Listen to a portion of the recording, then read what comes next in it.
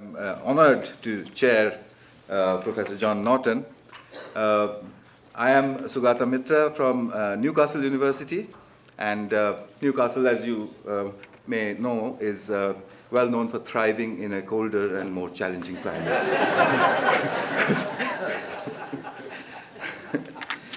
um, John Naughton. John Naughton is Professor of Public Understanding of Technology at the Open University he is a fellow and a vice president elect of Wolfson College, Cambridge, an academic advisor to the Arcadia project at Cambridge University Library, and what I know him for best is his Observer's internet col- columnist, and uh, I'm one of his readers. Uh, he's co founder of Cambridge Visual Networks, which is a Cambridge based uh, startup. Uh, he has a new book coming up in January. It will be called From Gutenberg to Zuckerberg what you really need to know about the internet. So um, I, am quite looking forward to that one. Well, so I'm not going to take away more time from Professor Naughton. Um, please.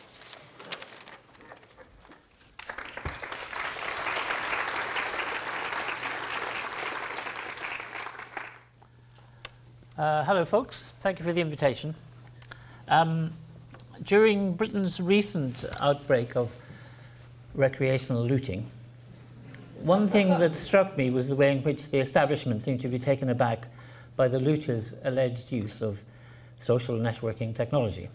We were told by the mass media, and the news was enthusiastically, if mindlessly, relayed um, by the government ministers, that a new and sinister force was loose in our society. It was called BlackBerry Messenger. And as I listened to this establishment and media cant, the question that was uppermost in my mind was where have these people been all these years? Because apart altogether from the irony of seeing a device, the Blackberry, which had once been the, the badge, the ultimate badge of corporate status and prestige, uh, and now had apparently metamorphosed um, into a working tool for hooligans. Um, there was the fact that pin messaging on Blackberries is not only an extremely ancient technology, but is, or at least was, one of the reasons why governments across the world used to want Blackberries for their officials. And you will remember, I guess, that after Barack Obama became president, there was a good deal of comical speculation in the media about the fact that the new president passionately wanted to hold on to his Blackberry, despite the concerns of his security advisors about the wisdom of entrusting presidential emails to a wireless device. But behind all these amusing observations, there was a more serious question. Why is our society apparently always playing catch up with technological innovation? Why are our, our institutions, companies, governments, schools, universities habitually ambushed and astonished by new technologies, particularly communications technologies? Why are technological innovations apparently so difficult to predict? And what might we be able to do about that? Now, at one level, the answer to this question is easy. The future is unknowable, period. When Harold Macmillan was Prime Minister, he used to go grouse shooting in August. And once an enterprising journalist caught up with him and asked him a question Prime Minister, what keeps you awake at night? Events, dear boy. Events, was Supermac's famous reply. You never know what's around the corner. Now, that might be true of politics, but it can't be entirely true of technology. Because after all, no major technology appears completely out of the blue. It takes about 25 years, in fact, for a technology to become mainstream.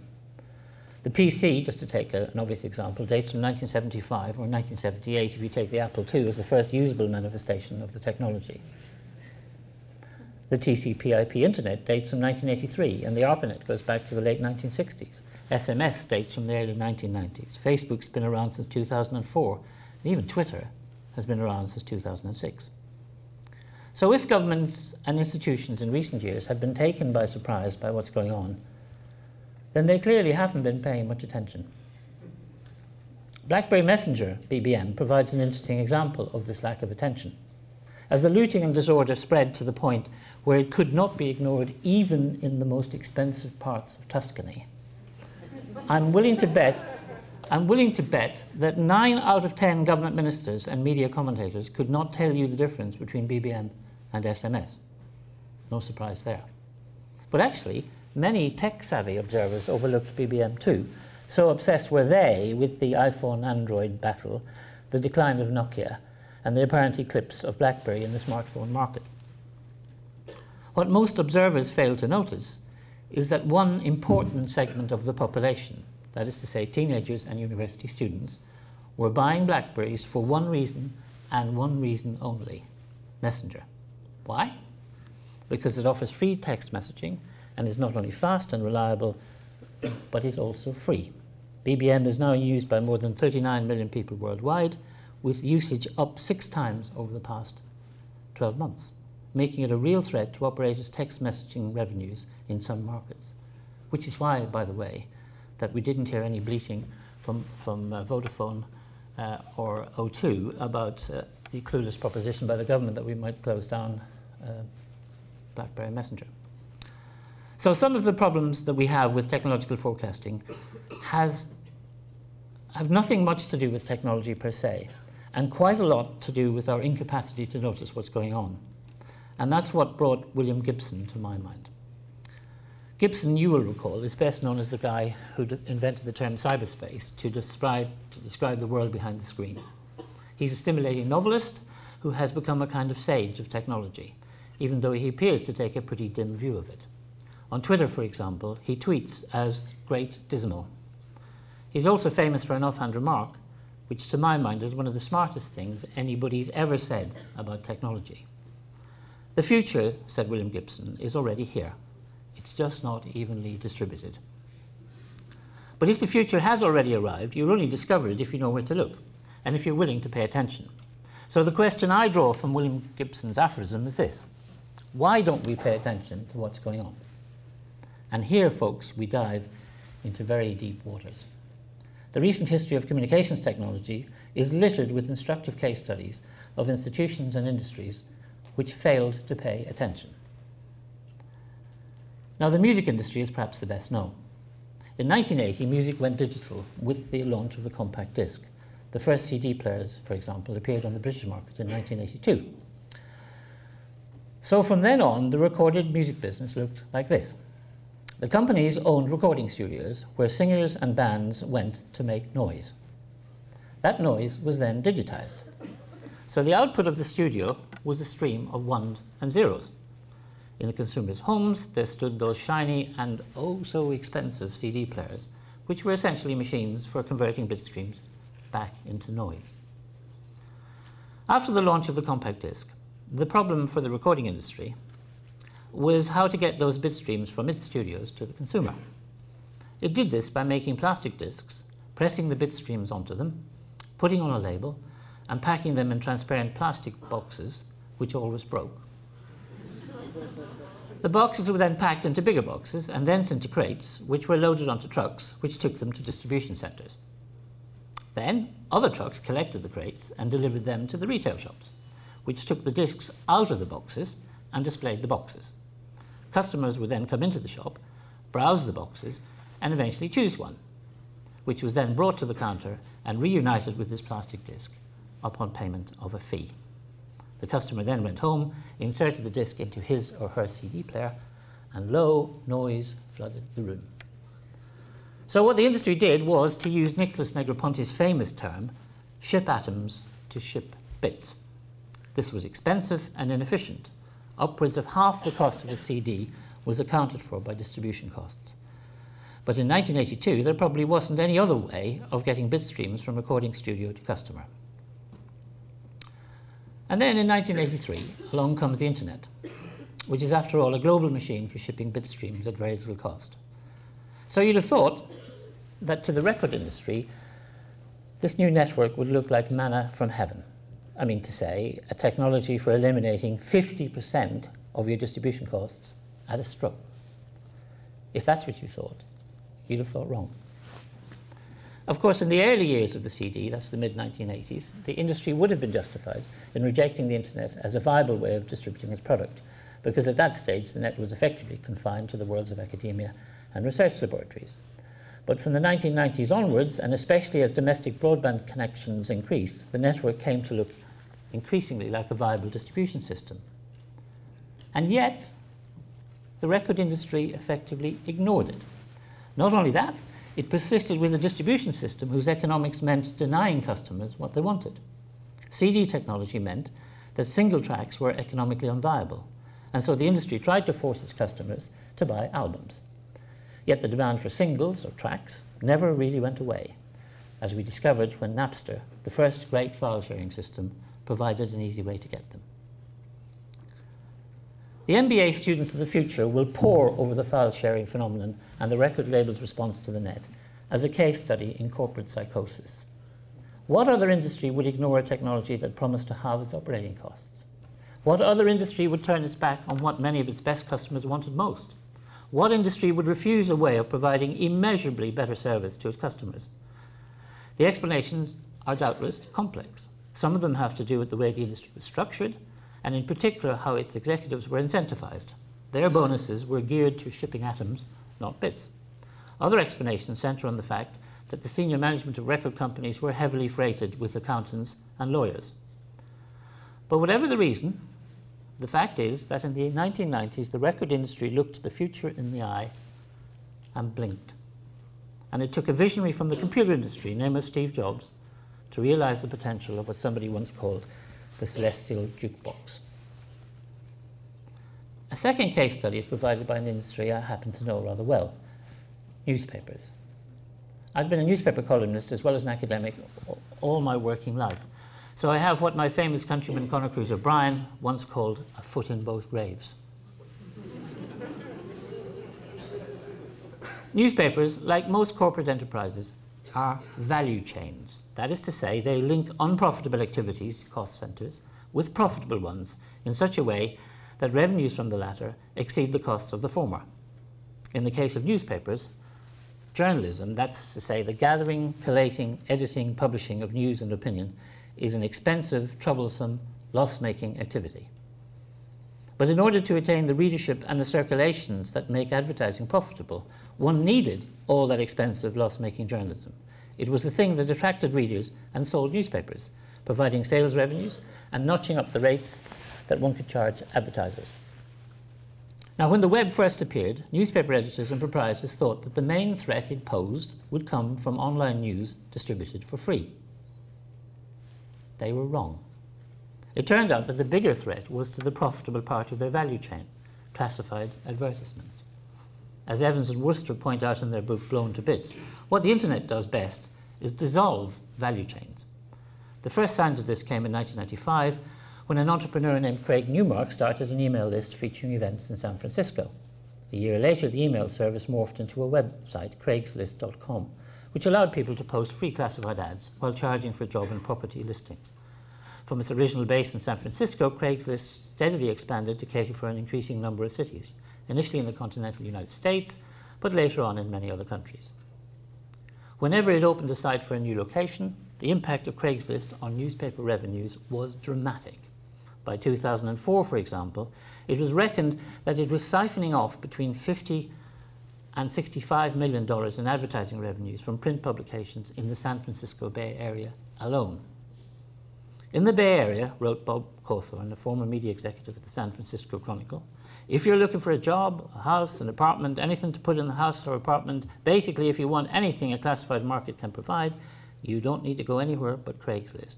Indeed, if you want to be sure you're seen at all, you must use Craigslist, and you can pretty safely ignore the print newspapers, unquotes. This is a former print executive. Now, of course, the success of Craigslist was partly due to the fact that personal listings were free, as was access to the site. But it was more to do with the fact that classified advertising simply works much better on the web. Instead of having to wade through pages of densely printed ads in nine point type, looking for that used car or that chic studio apartment in a certain neighborhood, all you have to do is type a query in a search box and bingo, there's a list of possibilities. Given that, the surprising thing about the web is not that it so radically undermined the economics of print newspapers, but that they didn't see it coming. They failed to perceive the real threat to their value chain. My last case study is Wikipedia. Once upon a time, an encyclopedia was a shelf full of bound printed volumes. For most of my life, the gold standard in the encyclopedia business was the Encyclopedia Britannica, which in its 15th 1974 edition ran to 30 volumes and required its own special bookcase. A few months ago, while working on my book in the wonderful book-lined reading room of the University Library in Cambridge, I found myself suddenly needing to check a date. In the normal course of events, I would have opened my laptop and gone to Google. But on a whim, I decided to do something different. Must be a copy of Britannica here, I thought, so why don't I use that? So I left my laptop unopened and went looking. I found what I was seeking sitting in a long, serried row of brown volumes on a shelf in the corner of the reading room. And as I took one of them down, I had one of those quiet moments of revelation that James Joyce called an epiphany.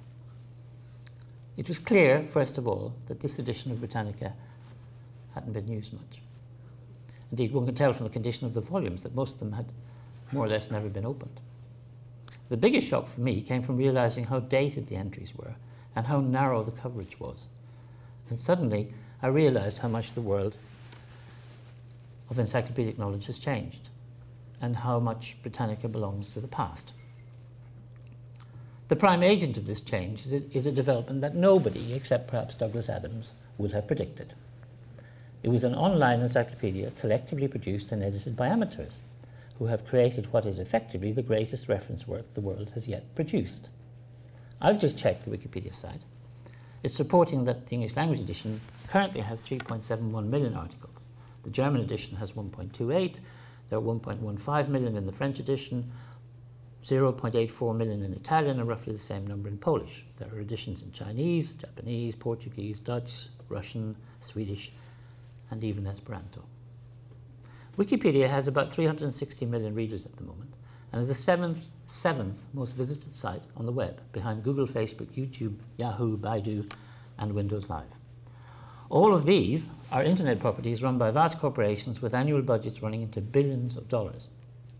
In contrast, the Wikimedia Foundation, which is Wikipedia's parent organization, had about 40 employees in mid-2010 and an annual budget of less than a million dollars. I don't need to tell you this audience that Wikipedia's coverage is astonishing in breadth, depth, timeliness, and sometimes triviality. There are, for example, detailed articles on TV reality shows, extensive entries on the Nintendo Pokemon video games franchise, and on the Barbie doll, Barbie fashion doll created by the Mattel Corporation. But at the same time, there are detailed, well-informed, up-to-date entries on the Internet Protocol Suite, the economist and philosopher Friedrich Hayek, the Bose-Einstein condensate, chaos theory, Jacques Lacan, the celebrated French psychoanalyst. There's ones on Lloyd George and Ludwig Wittgenstein and so on. The list is, or appears to be, endless. And if you search for a topic on which Wikipedia does not at present have an entry, you're presented with an invitation to create one. Now this fact, this fact alone, that anyone can create or edit a page, is what usually gets the skeptical juices flowing, especially in academia. To most people, it suggests a recipe for chaos. To me, it reminds me of the bumblebee, which, according to the laws of aerodynamics, ought not to be able to fly. But fly it does. Much the same might be said of Wikipedia. It ought not to work, and yet it does. Over the years since it was founded, the site has grown not just in size, but also in intellectual stature, to the point where it's become indispensable for many routine purposes and essential for some important ones. Could I just have a short hand here of people who have not cited Wikipedia in something they've written? Anybody here? There are a few. Yeah, a few. Thank you. But this is the thing that often strikes me about it is, is whenever a major catastrophe strikes in the world. For example, on the 6th of April 2009, a large earthquake struck central Italy at 1:32 GMT. By 2.20 GMT, there was a Wikipedia entry about it, which was endlessly updated during succeeding hours and days. Same thing happened with the Indian Ocean tsunami of 26 September 2004 and the Japanese earthquake and tsunami of 11 March 2011. In each of these cases where conventional news organizations struggled to cope, Wikipedia turned out to be the best source of information and explanation through the day. However one looks at it, Wikipedia is an astonishing phenomenon. Three aspects of it stand out for me. The first is the astonishing amount of collective human effort that it represents. In his book, Cognitive Surplus, the cultural commentator Clay Shirky makes a stab at quantifying it. Suppose, Shirky writes, we consider the total amount of time people have spent on it as a kind of unit. Every edit made to every article, and every argument about those edits, for every language that Wikipedia exists in. That would represent something like 100 million hours of human thought. It's a back of the envelope calculation, he says, but it's the right order of magnitude. But the intriguing thing for me about this massive collective investment of time and effort is that it is voluntary. People create and edit Wikipedia for motives that have nothing to do with the more conventional motivations of human action. This is what Yochai Benkler calls social production. Um, that is to say, creative activity that lies outside the marketplace. And in that sense, it's another instance of the rise of user generated content that has been enabled by the web. But there is one important difference. Other kinds of user generated content, for example, blogging, publishing photographs on Flickr, or home produced movies on YouTube, are mostly motivated by desires for individual self expression. Whereas the effort that goes into Wikipedia is directed at a collective goal, that of creating the greatest work of reference that has ever existed. The second thing that's fascinating about Wikipedia is why such an un ostensibly uncontrolled and free enterprise has not degenerated into chaos. The answer lies in a combination of social conventions and technology. The site has remarkably few formal rules, but it does have a philosophical ethos that clearly translates into norms that govern behavior. This ethos includes a commitment to transparency about editorial decision making, a guiding principle that contributors and editors should strive to adopt what Wikipedia calls a neutral point of view, a commitment to the notion that there should be no gatekeepers as far as content is concerned, and a pragmatic design philosophy that emphasizes the value of creating something that works now and assumes that problems can be dealt with as they arise. Without the right technology, however, this philosophical ethos might have been aspirational rather than operational. What made it practical was the adoption of the wiki software developed by an American programmer, Ward Cunningham, in 1994-95. Cunningham's great idea was to invent a way that enabled web pages, which had hitherto been read-only objects published on servers, to be edited on the fly by readers in their web browsers. And the adoption of this technology by Wikipedia's founders in 2001 was arguably the most important decision they ever made. Why? Because it enabled the site to implement its philosophical ethos, as it were. Editorial transparency was ensured by the fact that the software automatically created and maintained a discussion page alongside every main page.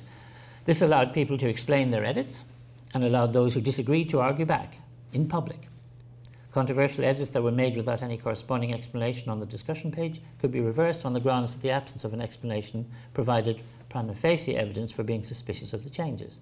The discussion page provided a channel for debate that also introduced potential contributors to the social norms governing editing and thus may have eased their transition from being mere readers to becoming editors. And Wiki software also provided an insurance policy against what many of the skeptics thought would be Wikipedia's greatest weaknesses, its vulnerability to vandalism. Because the program kept track of every, keeps track of every single change and logs all activity on the site, it made it trivial to undo damage by simply reverting to the previous version of the defaced page.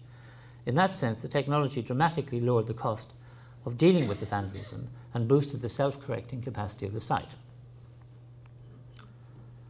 Now, in their different ways, these three case studies I've talked about, online music, newspapers, and Wikipedia, illustrate how we are so often blindsided by our conventions, mindsets, paradigms, and business models. In each of these cases, the technological future had indeed arrived, but those most affected by it couldn't see that. There are none so blind, the biblical saying goes, as those who will not see. Record company executives failed to recognize that the internet rendered compact discs and the business models built around them obsolete. And when they eventually did recognize it, they saw it as a mortal threat rather than as the commercial opportunity of a generation. Newspaper journalists and managers spent so much time and attention focusing on the strengths and weaknesses of online news that they failed to see that the real attack was coming from a completely different direction. And a mindset which couldn't conceive a non hierarchical way of creating an authoritative reference work couldn't take Wikipedia seriously until it was too late. Now, there's an obvious objection to this line of thought. It's too smug, based as it is on the fact that hindsight is the only exact science. Life, you say, can only be understood backwards, but it has to be lived forwards. And it's easy to see, with the benefit of hindsight, how misguided the record labels were when they rejected the potential of the net and left the gap open first for Napster and then for iTunes. The problem with decision making, you say, in the real world is that it has to be done in the face of an unknowable future. And that's true. So let's go at this problem from another perspective by recognizing that even if we are more perceptive than the music executives and newspaper proprietors of the 1990s, we still have to recognize that making predictions about technology is fiendishly difficult. There are two main reasons for this. The first is that most major technological developments are in fact the outcome of very complex combinations of factors. In that sense, the popular image of technological progress as the output of a gifted inventor, like, say, Thomas Edison, is a very poor guide to contemporary technology. The writer who has expressed this best in recent years is the economist and complexity theory, Brian Arthur. In his 2009 book, The Nature of Technology, What It Is and How It Evolves, he sets out the view that a technology is what he calls an assemblage of practices and components, and that the process by which technology develops is what he calls combinatorial evolution. What he means by that is that novel technologies evolve through combinations of existing technologies. If you open up a jet engine, he writes, you find components inside compressors, turbines, combustion systems. If you open up other technologies that existed before the jet engine, you find some of the same components. Inside electrical power generating systems of the early 20th century were turbines and combustion systems. Inside industrial blower units of the same period were compressors. Technologies inherit parts from the technologies that preceded them. So putting such parts together, combining them, must have a great deal to do with how technologies come into being. Technologies somehow must come into being as fresh combinations of what already exists, unquote. Among other things, Arthur's theory of technology explains why the pace of technological change is accelerating.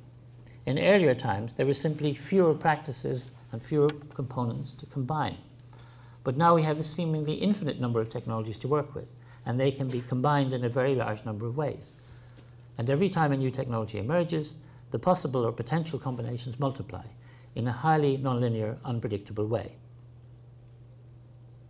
If this is true for jet engines, nasty, heavy, lumbering, physical monsters, then it's true in spades for information technologies, and especially for software, which after all exists only as weightless bits.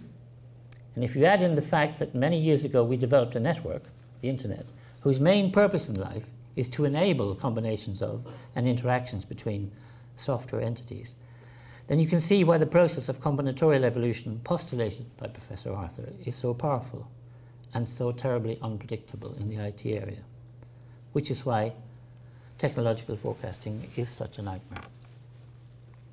The second complication is that, at least in the case of IT products and services, users rule okay. By that I mean that in the end, it's users who determine the fate of technologies. So the intrinsic merits of a particular service or program or device are not, its intrinsic merits are not what will determine whether it thrives. It can be the coolest piece of technology ever and still bomb. What matters is whether people adopt and use it. That's not to say that a technology which isn't adopted is always a waste of effort and resources, because it may be combined in some unexpected way in the future to form a future technology. So in that sense, for example, the Apple Newton, which was originally deemed a failure and indeed terminated by Steve Jobs when he returned to Apple in 1996, probably shaped the thinking that eventually produced the iPad. But in general, if a technology isn't adopted by users, then it might as well not have existed. And users will only adopt things that meet their needs. Now, does this eternal truth that users will only adopt things that meet their needs make technological prediction easier? And the answer is sometimes it does. For example, from the outset, it was absolutely clear that the mobile phone would be a world shaping product because it satisfied a deep seated human need for communication. And besides, there was always something weird about the, and primitive about the notion that telephones had to be tethered to the wall, like goats. And of course, mobile phones had been in Star Trek for generations. Facebook took off because it satisfied the deep seated need of American undergraduates to get laid. Napster grew like wildfire because people have a deep love of music, and Napster made songs instantly and freely available.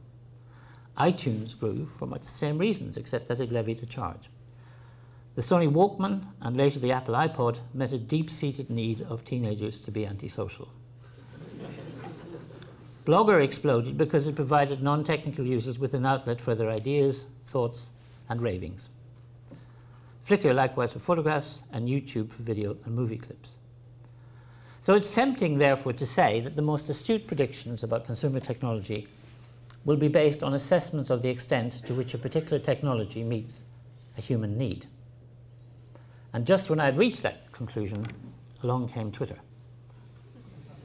And what human need, I wondered, could conceivably be met by a service that allowed you a measly 140 characters?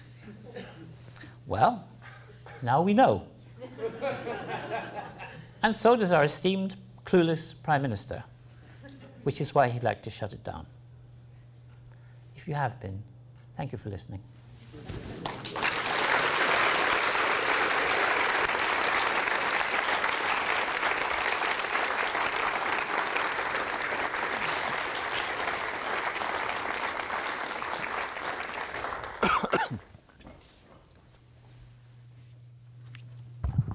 Well, um, uh, we have uh, we have a bit of time. We have about 15 minutes for uh, questions, and um, I'm sure your heads are buzzing with those three examples and what followed. Um, so, is there a a comment or a question?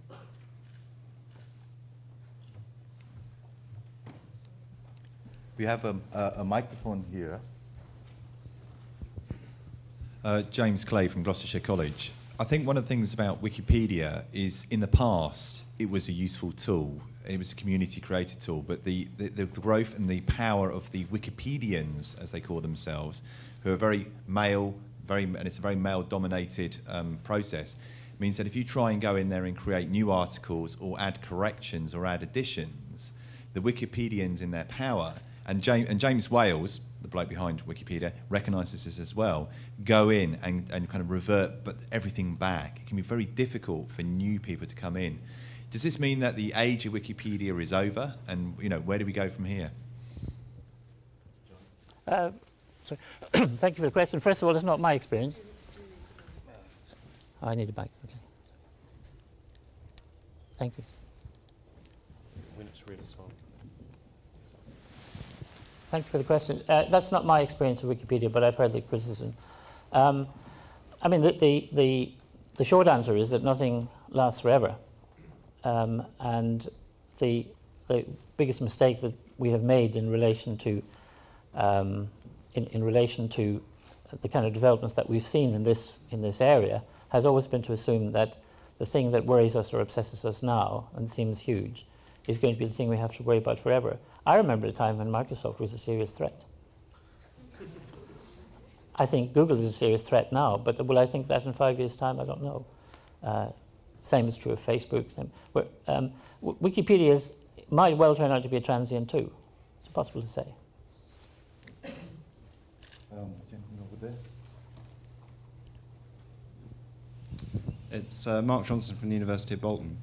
I, I, take the theme of what you've just said uh, to be the importance of listening and the importance of, um, obviously, the organizations in the case study uh, listening. But there's, there's something that worries me about technology and listening. And because it's, it's always important, there's a level of sort of authenticity that you have to achieve if you're really going to think about what's happening and, and reading the world. And, and actually, when we look at our students, and sometimes when we, we uh, we sort of look at the, our own behaviors with our technology, sometimes it's difficult to reach that same level of authenticity and sort of deep listening that's necessary to make the right decisions and the right choices. So, my question is Is social technology potentially a threat to the way that we listen, and particularly the way that we come together? Because there's, there's something that happens when, when we come together in very convivial uh, settings, perhaps like, like this conference? Um, I think I think those questions are kind of unanswerable in a way because because the thing that sort of upsets me a lot about the public discussion of, of all of this stuff is that somehow it, it's, um, it's possible to reach a conclusion about whether or not this thing is good or whether this thing is bad. And the truth of the matter in almost all of these things is that it is both good and bad. Um, and that's the ultimate sort of reality about it. Um, uh, it's a bit like saying, is, is air good or bad? Or uh, it, whether or not it is beside the point. The point is what it, what, it, what it implies, what it does to our societies, what it does sometimes to our brains or whatever. Um, we're stuck with it. And uh, so I, I, find these, these discussions that often go on in, in the Daily Mail and elsewhere uh, really annoying about whether this is a good thing or a bad thing or whatever. Technology is always giveth and technology is always taketh away. And um, the, the, the, real question is how do we, how do we adjust to, to the realities that we have created? And those realities are very complex. Um, and, and in some respects, it, it's pretty clear that we are sleepwalking into nightmares. Absolutely. And the most distressing thing about it is how hard that is to explain to anybody, except for people like the people in this room who understand this stuff. But if you try and get a public discussion, for example, about the really warped uh, way in which people are trading their identities for, for basically gewgaws, the way they've been turned by, by uh, Facebook and, and, by, um, and by other um, agencies in, into essentially the modern equivalent of sharecroppers, all that kind of stuff. Um, the way in which people will, will, will give away their personal details in much the way as, as in the child history books about colonialism, you had, you had um, um, uh, native chieftains who, who, who, handed over mineral rights in return for some baubles from some canny imperialist. Um, all that stuff is happening, but it's very hard to explain to anybody.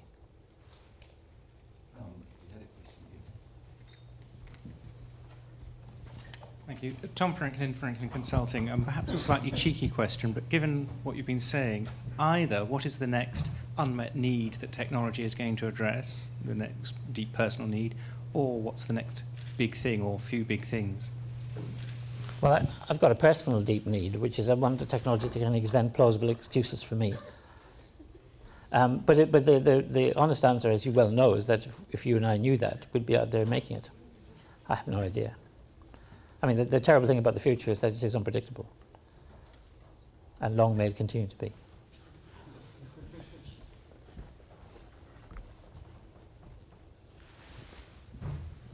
Thank you, Diana. I can't really see you, John. Hi, Dan. Um, John, I've been trying to apply what you've been talking about to what our business of education, of teaching and learning. And one of the difficulties we have in teaching learning is it's, it's quite a complex transaction. There are quite complex human needs going on there, if indeed you can even call them human needs. I mean, there, there may be a human need to teach. And insofar as there is, it's fairly simply satisfied by things like PowerPoint or websites. Just give it, you know, tell the story of my subject, and that's enough.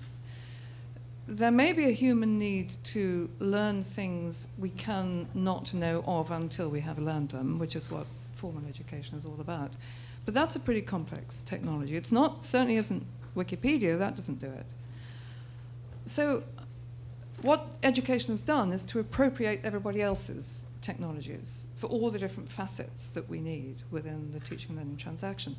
So is, is that our fate? I mean, can we see from the kinds of analogies you've been drawing, is there a human need to do something which there is a technology that can fulfill that need?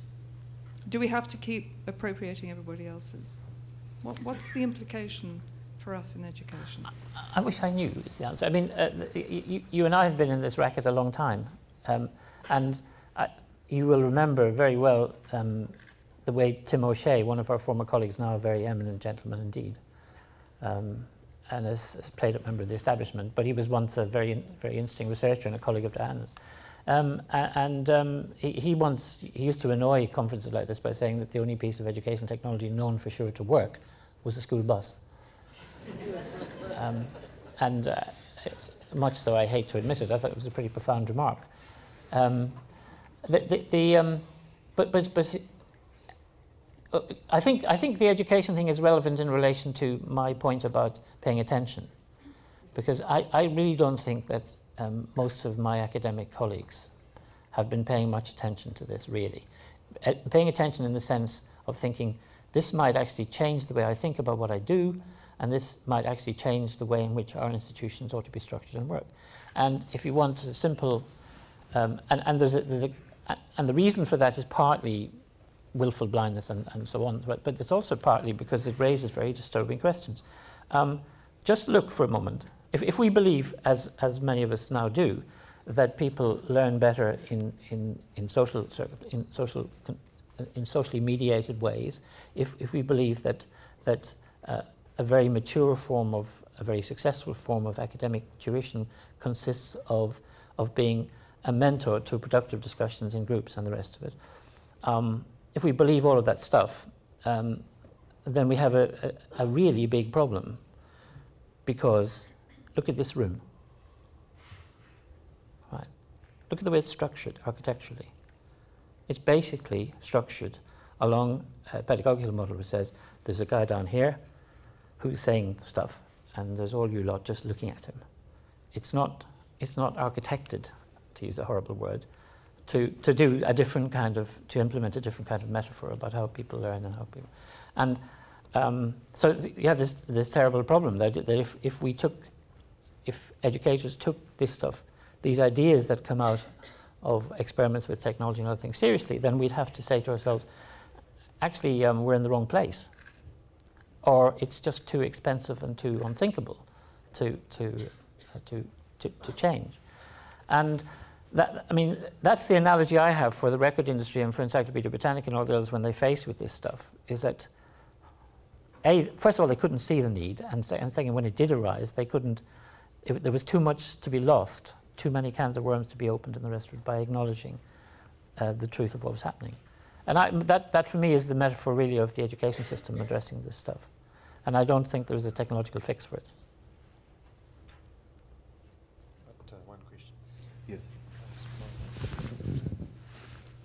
Got a question online here, uh, John, that says, can you suggest how we can be curious, questioning and critical of emerging technologies and importantly, how they relate to each other? Uh, yeah, it's, it's kind of something you could have picked up from Socrates.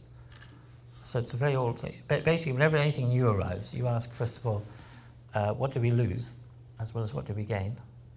Uh, and secondly, who benefits and who loses from the adoption of this stuff?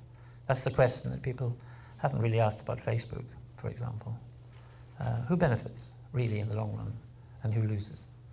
Um, and they're very old questions. I think Plato and Socrates and co asked them, and I think they're still relevant and very useful. And when you ask them the questions about technology, usually pretty, pretty sobering. The answers you get are pretty sobering.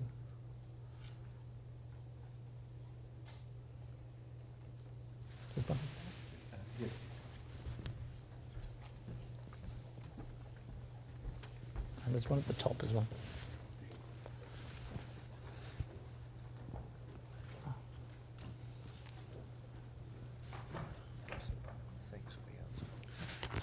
Bill, Bill Olivier, University of Bolton. You, you've itemised a number of, of industries that have been laid low, shall we say, by, by the internet. Um, music, uh, newspapers, encyclopedias. Uh, and because they didn't see what was coming with the technology. And as you said with William Gibson, it was already there, but just unevenly distributed. Now, it seems to be edging closer and closer to higher education. So, so do you see things that are already here that might well be things that we should be looking out for before they cast us down too? We're, we're in the information business in one sense.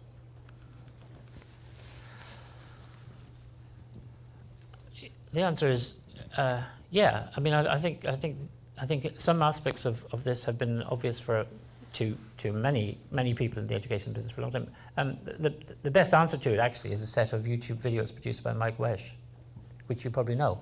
And if you don't, you ought to see them. Mike Wesch is an anthropologist. He teaches anthropology. And he and his students have been making an astonishing series of really insightful videos, all of them on YouTube, about, about what we need to be paying attention to and aren't.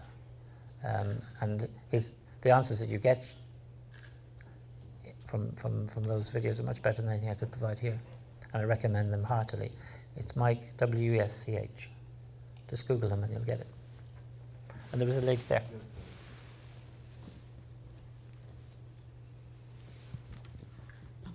Hello, Moira Maley, University of Western Australia. Um, is there any way of bringing the vendors, the, the corporate people that are taking away the big profits, to bear for the consequences of, of what people do with their offerings? Uh, no, uh, be, because, and the reason for that is that our societies are not geared up to addressing the problems that they create. Um, I mean, for, for if you just take what, a simple example, actually, is the way in which um, major uh, content uh, companies uh, have, have consistently um, suborned legislatures into enacting uh, copyright rules which are now totally inappropriate for a digital environment. Um, uh, the, why is that an interesting example? Well, in general, in democracies, when legislatures make laws, they do so on some rational basis. So, for example, in the case of, say, um, the, the regulation of, of um, pharmaceutical drugs, then if a, if a, if a pharmaceutical company wishes to have some extension in its permissions, then uh, a legislature will actually say, well, let's have some objective research here. Um, and then we'll, we'll, we'll make a decision about what's in the public interest and what balances the public interest with your commercial needs and so on and so forth. Well, in relation to, say, the extension of copyright terms, um, what happens is that um, um, a number of pathetic figures like, like um, say, uh, Cliff Richard are, are, are, dragged out from under whatever stone they, they, they hide in order to, to plead tearfully with, with legislatures that you know, their, um, um, their descendants under the fifth generation will, will be penniless and not have shoes if, if if, if, if legislatures don't extend the copyright term even further and so on. Um, nobody says, actually, what's in the public interest up to now? No, no legislature said, okay, until recently, no legislature, especially in the United States, said, okay, what really is in the public interest? Do you really need more copyright extension, to more, more protection? Will that lead to greater public benefit or not? And where's the evidence? So that, that's, that's just one example of where we, we, we are nowhere near addressing these issues. The same thing applies in relation to privacy, um, say, and Facebook and Google and all the rest of it. And it goes on. So they're getting away with murder, in my opinion. And they're getting away with murder partly because our democratic systems and our legislative systems are kind of years behind, decades behind, probably. And I don't, I don't know how this is going to pan out, but it doesn't look good. You have a question here.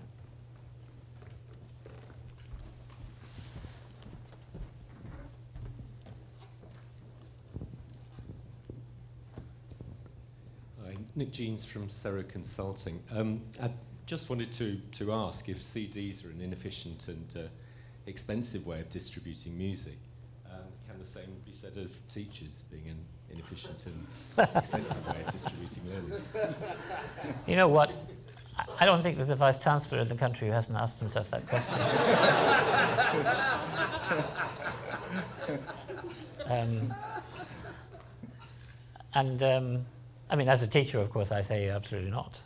Um, but th th I mean, th there's a, there's, that's a problem that journalists have as well. For example, um, print journalists in particular have been, have been fantastically hostile to, to the online world. Um, and that's, par that's partly because they, uh, they can't envisage a world without them. Um, and what they don't seem to realize is that actually they're, they're making a, a, confusion between form and function. Um, the, the thing that's important for our society, for example, is, is, is that we have the continuation of independent journalism. Uh, that's, the, that's the function that society needs. It needs journalism. That's it. And we have to find business models that will enable that to continue. What, but, but what journalists have been entirely preoccupied with up until recently is not how can we preserve the function in this new digital age, but how can we preserve a particularly obsolete technological format, which was the printed paper. So the, the future of journalism is not about the future of newspapers. The future of journalism is about, is about finding business models that will support the things that are really valuable about journalism, what it does. And I think the same is true for, um, for teaching institutions and learning institutions as well. Um, supposing our, our existing business model uh, is, is vaporized by the net, um, uh, what's important is not that we preserve institutions like this in their physical form, but that we preserve the thing that's really valuable about education. Uh, and that may or may not involve these kinds of buildings and may not involve these kinds of institutions and so on. But that's what we ought to focus on. Um, and in general, I don't think we are focusing much on that question. That's the really important thing. It's the what, not the how. Well, um, we are actually just about out of time. So uh, I, I, found this quite, quite fascinating, actually. And, uh, and I, I was uh, all along thinking about this uh, issue of teachers and uh, whether they are a bit um, redundant, shall we say. Uh, but I suppose that, that will take us to, to next year. So thank you, John. That, that was absolutely uh, marvelous, uh, marvelous session. Um, and uh, talking about, you know, noticing, noticing change, I have noticed that there is a bottle of whiskey behind that sofa.